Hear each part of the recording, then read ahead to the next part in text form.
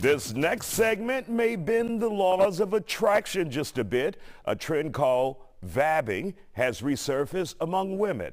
It involves using, get this, vaginal fluids as a secret weapon to attract a partner, as if it's a perfume. Sounds wild, right?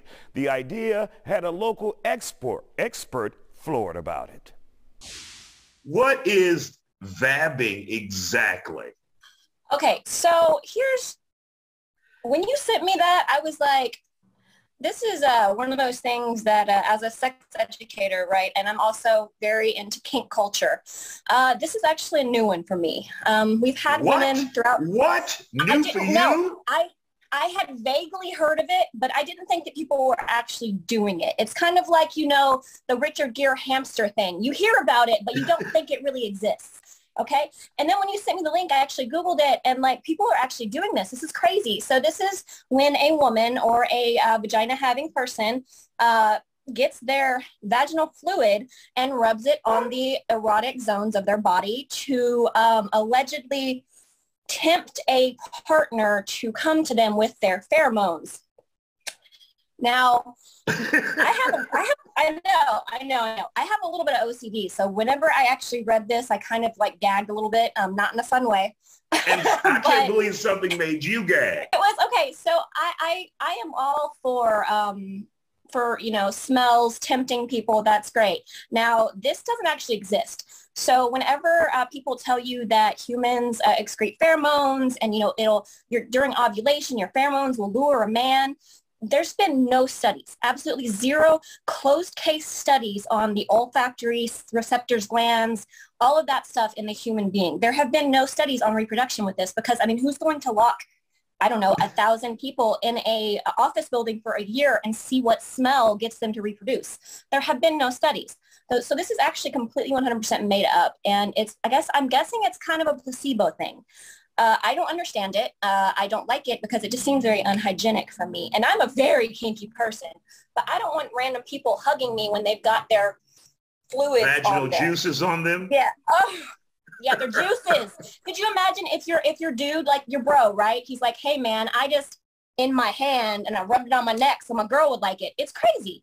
Um, this, this reminds me of the blood spaghetti. Do you know what the blood You'll be surprised is? what dudes do behind closed doors. No I could imagine. But do you know you know about the blood spaghetti? You know, You it's always something like, hey, look at these two fingers. Ah! smell my fingers. Gross. Human beings are nasty. But yeah, no, this is something throughout the ages. Uh, women have been trying to, I guess, tempt men or, you know, I want to, I'm going to say it point blank, trap men, right? So there's an old, uh, I will say it's more of a cultural practice, which I actually know somebody who did this and I gave her a, a nice uh, talking to. So during women's periods, they will put their blood into pasta sauce and feed it to the man that they like in hopes that he will become obsessed with her, right? now, that's something I've heard since a kid in Louisiana. Exactly. That's nothing new for us in Louisiana. Exactly. Yeah. So yeah, my um, my relatives are from Houma, Louisiana. So this is where that came from. Um, it's some some hoodoo stuff, and I truly believe in all that. So that's where the scary part comes in, right? What is what is it? Is it going to be pheromones, which we don't even know if we can smell because we don't. The science behind it is not there. Or is it just a placebo effect? Is it just somebody being desperate to get find love and have a partner, which I completely understand, right? Everybody wants to be loved. But how far are you going to go to get that love when it's not already given to you? You know what I mean? Yeah, That's and that's a good point you make into. there.